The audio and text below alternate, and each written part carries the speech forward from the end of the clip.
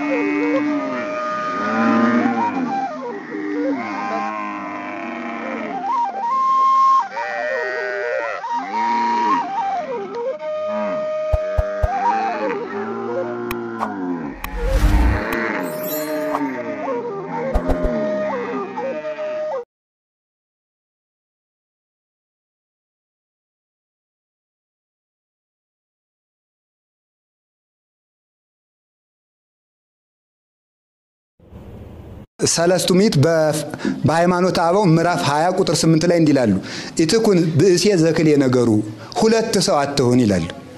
ማለዳ አርዮስ ማታ እንደ አትናቴዎስ አትሁን። ማለዳ እንደ መልአክ ማታ እንደ ሰይጣን አትሁን። ማለዳ ሌላ ማታ ሌላ አትሁን። አርዮስን ስታገኘው አርዮሳውያን ጉልበት ጨመር ሲያደርጉ አይኔ እኮ እንደው ዝም ብዬ ለእነዚያ ደስ ይበል ነው እንጂ እንደናንተ ነው ማመን አትበል።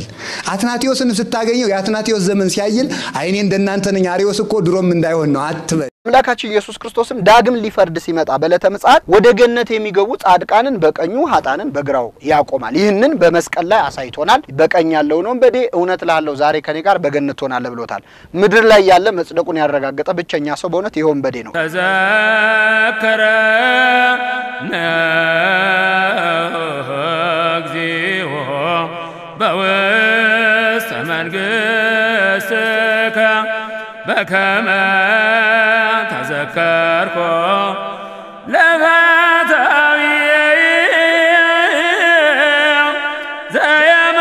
ዘየማን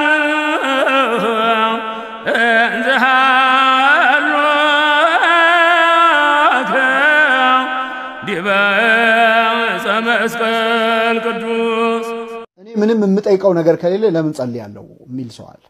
በተለይ ደግሞ በጣም ሀብት ንብረት የሞላለት ከሆነ የቸገረው ይጸልይ እንጂ ምን አጥቼንም ጸልየው ይላል። ለዚህ ሰው ጸሎት ማለት ጥያቄና መልስ ነው፣ ግን አይደለም። ምንም የምትፈልገው ነገር ባይኖርህም መጸለይ አለብህ።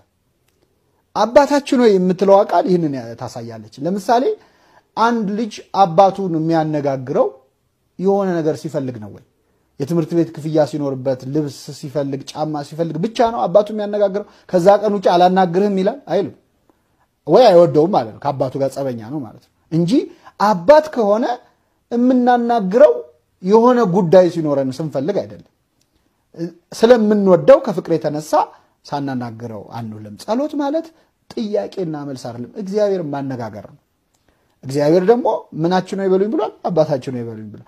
አባት ከሆነ ከፍቅሩ የተነሳ ሁሌ እንጸልይ። ሰላም የሚሰጠን እግዚአብሔር ነው። ሰላም እንዲሰጠን ወደ እግዚአብሔር እንመለስ። ወደ እግዚአብሔር ከተመለስ መንግስትም ቢሆን ሰላም እንዲሰራ ያደርገዋል። ካልሰራ ደግሞ ይገለብጠዋል። የእኛ መመለስ ነው ሰላምን የሚያመጣው። በቀር ማመልከቻ እየጻፍን ስላስገባን ሰላም የሚመጣ መሰላችሁ? የለም የለም። ነገስታትን የሚያስተካክል እሱ፣ ለሰዎች ቅን ፈራጆችን የሚያስነሳ እሱ ነው። ከበደልን ደግሞ በእንጨት የሚደበድቡ ባለስልጣናት መጥተው እንደሆነ ነገ በጊንጥ የሚገርፉ ያመጣል እግዚአብሔር። መስተካከል ነው መድኃኒቱ። ምንም የደነደነ ልቡና ቢኖርህ ምንም ባትመለስ ሁልጊዜ የምትማር ከሆነ አንድ ቀን መመለስ አይቀርም ይላል የእግዚአብሔር ቃል። ልብህን አንድ ቀን መስበሩ አይቀርም። ስለዚህ ሰውን የሚጎዳው ድንቁርና ነው። አሁንም ቢሆን ቤተ ክርስቲያናችን ክብሯን የሚጠብቅልን ሀገራችን የሚያስተካክልልን ትምህርት ነው፣ ወንጌል ነው። የማት እየተማራችሁ ባትሰሩት ፍርድ አለው። ግን ባትሰሩትም ግን ተማሩ። ለምን መማሩ ለስራ አባት የልጁን ለልጁ ያለውን ፍቅር ከሚገልጥበት ነገር አንዱ የጠየቀውን ሁሉ አለመስጠት ነው። አንዳንዴ ልጆች ሆነን ለእኛ መልካም መስሎ የሚታየን ለአባታችን ወይም ለወላጆቻችን ግን ሲያዩት ለእኛ የሚጎዳ እንደሆነ የሚያውቁት ነገር አለ። ያንን ነገር የፈለገ ብናለቅስ ብናኮርፍ አይሰጡንም እና እግዚአብሔር አባታችሁ ነኝ ሲለን በሌላ ቋንቋ የማይጠቅማችሁን ነገር አልሰጣችሁም የሚጠቅማችሁንም አልነሳችሁም ሲለን ነው። ቅዱስ ጳውሎስ ምን እንዳለ ስሙት። ቆሮንቶስ መልእክቱ ላይ ሲናገር በዋጋ ተገዝታችኋልና የራሳችሁ አይደላችሁም ማለት በደንብ ስሙ። በዋጋ ተገዝታችኋልና የራሳችሁ አይደላችሁም። ምላሴ የኔ ነው አትበል። በገዛ ምላሴ አትበል። በገዛ አፌ የራስክን ጽደቅ፣ የራስክን ጻድቅ መሳይ እኔ የፈለግኩትን ምን አገባ ማለት አትችልም። ያንተ ምላስ የለም፣ የክርስቶስ ምላስ ነው። እስቲ ሁላችሁ ምላሴ የክርስቶስ ምላስ ነው በሉ። አንድ በሞት ይበሉ በሉ ሁላችሁ። ሶስተኛ በሉ እኔ ሐላላችሁ ግን እረግማችኋል ማለት መርገም ነው። እንዴት አደርጋለሁ? አንድ ጊዜ በሉ። ምክንያቱም ምላሴ የዳንሴ ነው ብለህ እየካድክ ነው። በሉ ሁላችሁ ምላሴ የማን ምላስ ነው? የማን ምላስ ነው? የራስን ስላልሆነ እንግዲህ አማጥሩ የራስ ምላስ ካልሆነ የክርስቶስ ምላስ ከሆነ መናገር የሚፈቀድለት የማንን ብቻ ነው?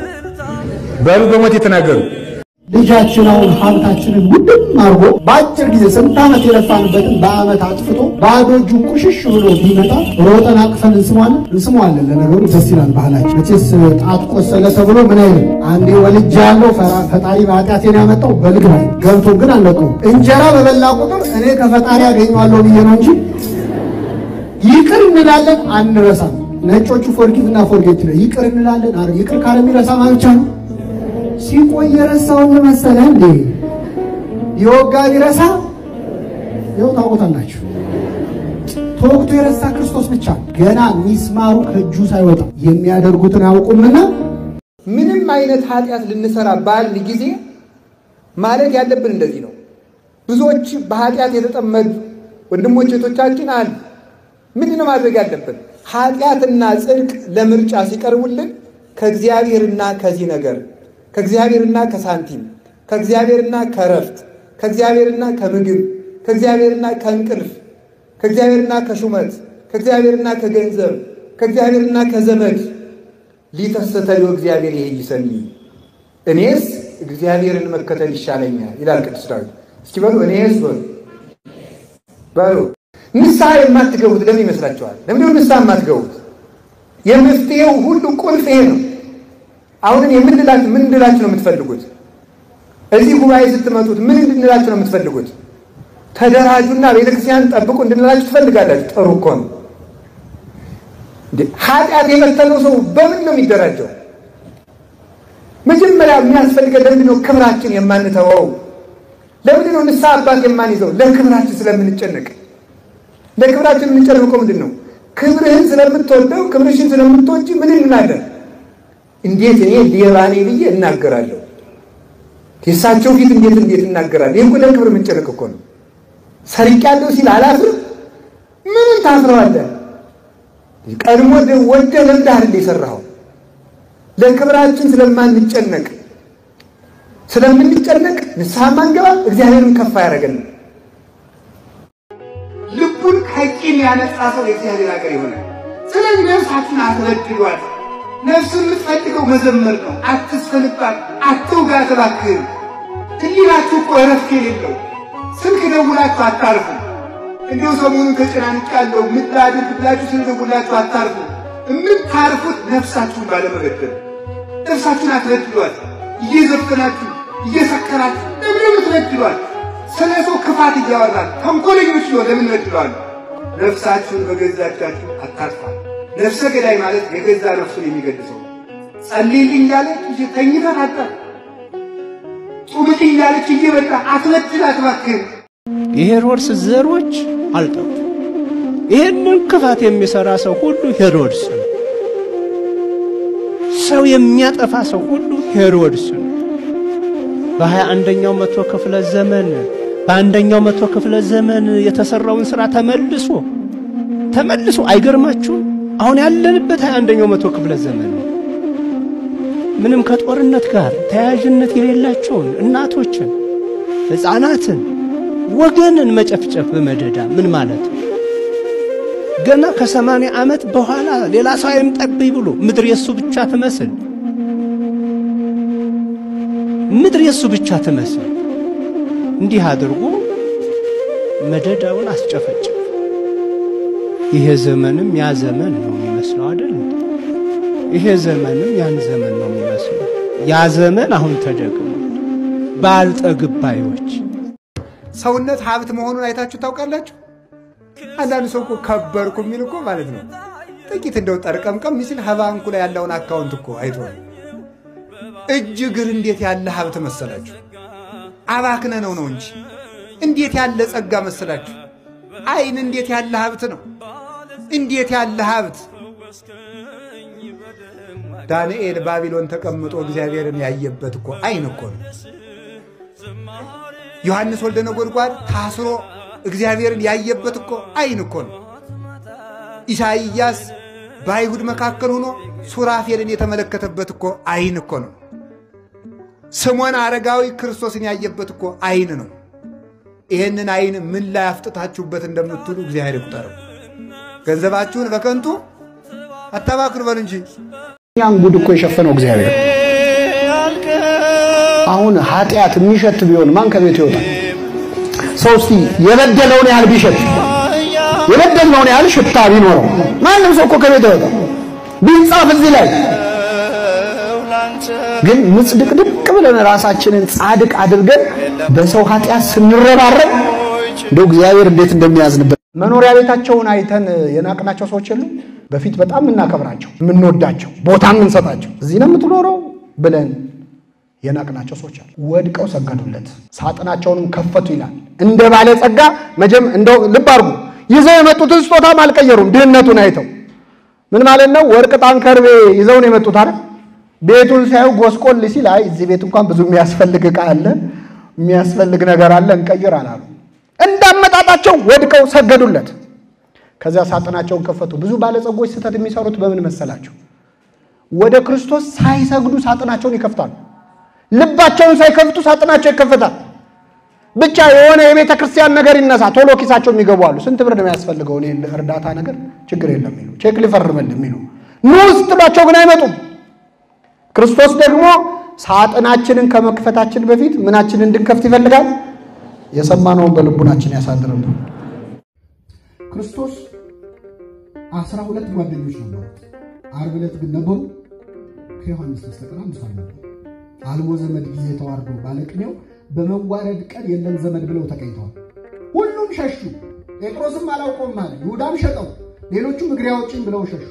በውርደት ቀን ስትሰደብ ዘመድ የለም። ሆሳዕና በአርያም እየተባለ ሲዘመርለት አጅበውታል።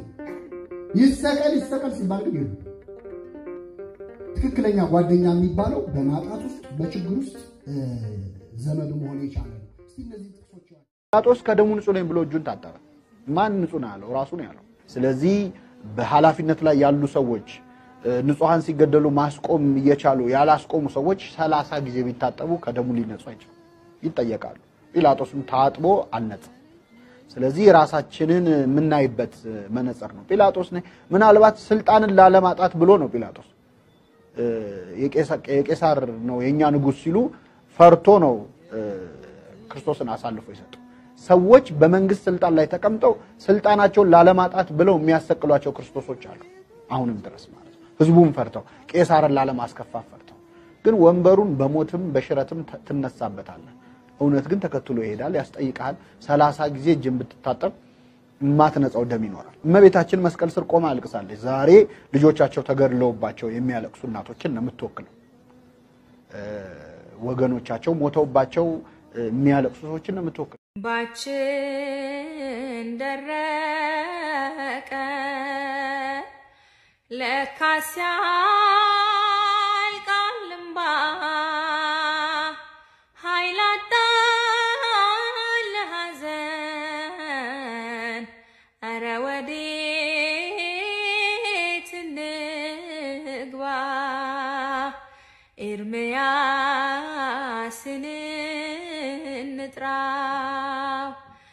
ቢያስተምረን ሰቆቃ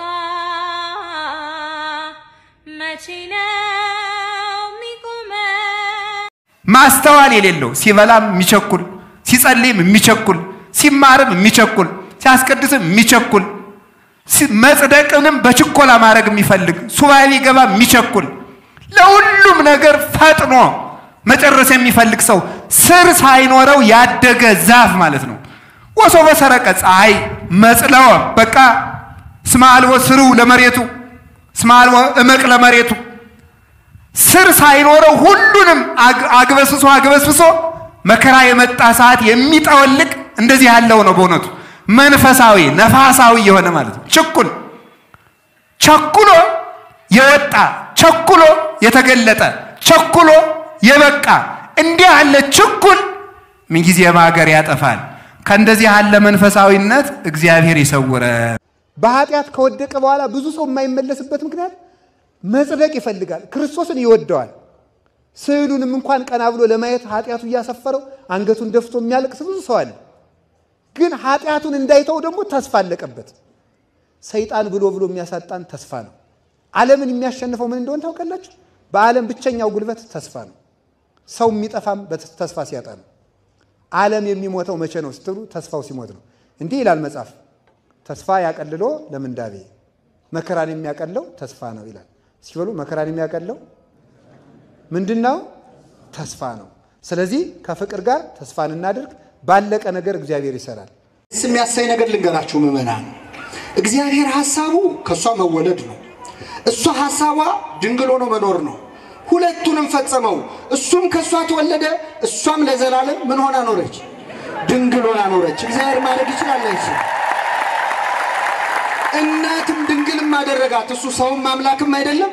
የታሰረ እግር ካሰበው እንደማይደርስ ሁሉ ፍቅር ዓለም ያሰረው ልብ ከፍቅር እግዚአብሔር መድረስ ፈጽሞ አይቻለውም። ዓለም ልትጠፋ ስትል ሰው ሁሉ የየራሱን መምህር ነው የሚያበጀው። የየራሱን መምህር ማበጀት ይጀምራል። እኔ ይቅርታ አድርጉልኝ መምህር ገሌ ደስ ይሉኛል፣ እኔ ደግሞ ይቅርታ አድርጉልኝ መምህር ገሌ ነው የምወድ ማለት ይጀምራል። ማለት መንፈሳዊ ዘመነ መሳፍንት ጀምረናል ማለት ሰው ስለዚህ ጸልዮ እንጀራ ቢያገኝ፣ ጸልዮ ልብስ ቢያገኝ፣ ጸልዮ ቤት ቢያገኝ መንፈሳዊነት አይደለም። አስራ ሁለት ዓመት ደም ይፈሳት የነበረች ሴት ምንድን ያለ እምከመ ገሰስኩ ጽንፈ ልብሱ አህዩ ጨርቁን ከዳሰስኩ ድናለሁ ብላለች። ጨርቁን ከዳሰስኩ ጊዜ የሚመስለን አይመስላችሁ ምዕመናን? አንዳንድ ጊዜ ለነፍሳችን የሚያስብልን እግዚአብሔር፣ ለስጋችን ደግሞ እኛ አይመስላችሁ? እንደዚህ ያለ የምናስበው እግዚአብሔር የነፍሱን የነፍሱን የጸሎቱን የጾሙን እሱ የትዳሩን የሆዱን ደግሞ እኛ የምናስብ ነው የሚመስለን አይደለም። አሰራርቼ ወደ እግዚአብሔር እመለሳለሁ ይላል ሰው ማለት ነው። ስራውስ የማን ነው? መብሉስ የማን ነው? ተኝተን መነሳታችንስ የማን ነው? እግዚአብሔር ነው። እግዚአብሔር ሰው በልቶ ስለማደሩ የሚጨነቅ አምላክ የምትደሱት እኮ የቀበሮ ደስታ ነው። ሲጋራውን አጢሳችሁ ስትጨርሱ ምንድን ነው የሚጠብቃችሁ? የህሊና ስቃይ አይደለም? ፍጹም የባርነት ስሜት፣ የብቸኝነት ስሜት አይደለም የሚሰማችሁ? የሰከረ ሰው መጨረሻ ላይ የሚያተርፈው ምንድን ነው? ክስረት እኮ ነው። ዝኒ ከንቱ አለ ሰሎሞን። ይጠቅስ ይጠቅስ ይጠቅስ ይጠቅስ ዝኒ ከንቱ ይህም ከንቱ ነው ይላል እና ትርፍ በሌለው ደስታ መዋኘት የለብንም። አንዳንድ ጊዜ የሚመስለን ቅዱስ መሆን የሚቻለው ቤተክርስቲያን ይመስልናል። ሰው የትም ይጸድቃል። ሁሉም ምድር የእግዚአብሔር ነው። ለሰይጣን አገር በመምረጥ ቦታ በማማረጥ መዳን አንችልም። የሀገር የሰይጣን ነው። እውነት ነው። አንዳንድ ጊዜ ለሰይጣን አሁን በዚህ ዘመን አንዳንድ ጊዜ ይገርመኛል። ኮምፒውተር 66 ነው፣ ስልክ 66 ነው። እንትና የምትባለው ሀገር 66 አመልካለ ዝም ብሎ 66 ጨርሳችሁ ለሰይጣን ገንዘቡን ሁሉ አትስጡት እንጂ ለሰይጣን ገንዘብ የለውም። እስኪ አንድ ጊዜ በሉ የእግዚአብሔር ሰዎች አለ እንዴ? የለውም። ለራሱም የለው፣ አንዳች ነገር የለው። ፍጥረት የእግዚአብሔር ነው። አትስጡት። ይሄ መሬት የሰይጣን ነው፣ ይሄ ሀገር የሰይጣን ነው አይባልም። ለሰይጣን ሀገር የለውም። ቤተክርስቲያን ስንሳለም መጀመሪያ ፊት ለፊት ተደፍተን እንሰግዳለን። ከዛ በኋላ ግራውንና ቀኙን ምን እንላለን?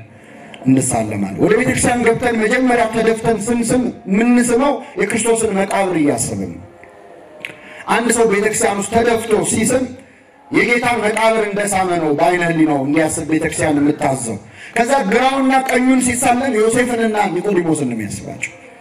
ክርስቶስ በተቀበረበት በዚያ ዕለት የገነዙትን በግራውና በቀኙ የቆሙትን ሁለት ቅዱሳን ቤተክርስቲያናችን ታስባለች። የእነሱን በረከት ያሳድርብን። ነትን ያመጣብን ስደትን ያመጣብን መፈናቀልን ያመጣብን ረሃብን ያመጣው ምን ይመስላችኋል? ኃጢአት ነው። የመከራ ባሪያ ያደረገ ንጽህና ስለሌለን ነው። ንጽህና ከባርነት ያወጣል። እውነቴን ልነግራችሁ፣ አሁን ከተጋረደብን መከራ እንድንወጣ ከፈለጋችሁ መፍትሄው ምንድን ነው ብትሉኝ፣ ንጹህ መሆን የጠገበ የኖረ ሰው ችግር በመጣ ጊዜ ወዲያው የሚደርቅ ተክል ነው።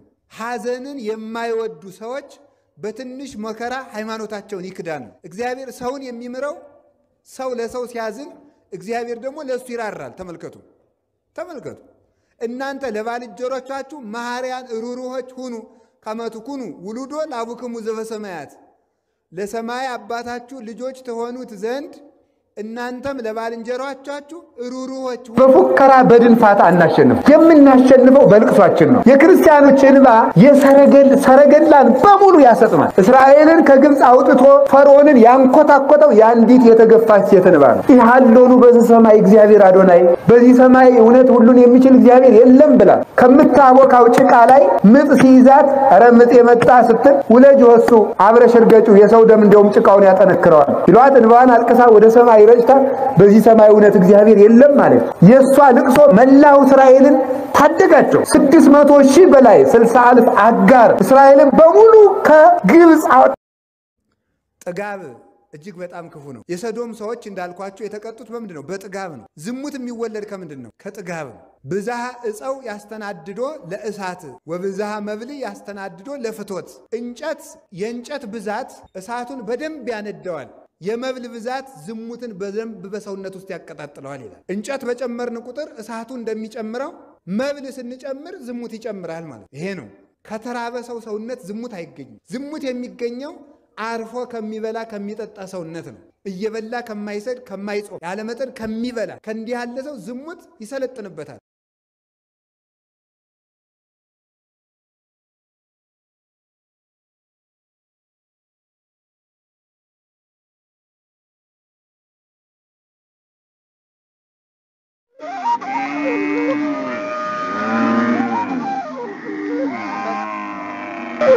Ah!